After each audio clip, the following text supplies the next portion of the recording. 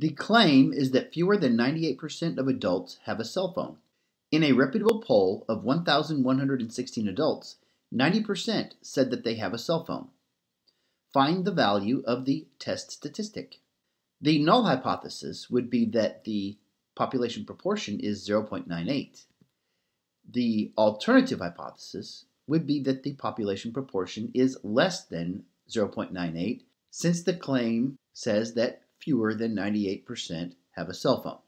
The number of observations is 1,116.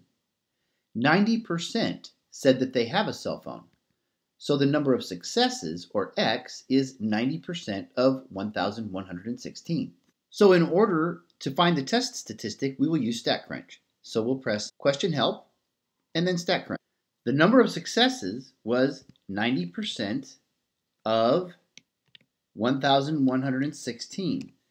So we can type that calculation right in this box in StatCrunch, 0.9 times 1,116.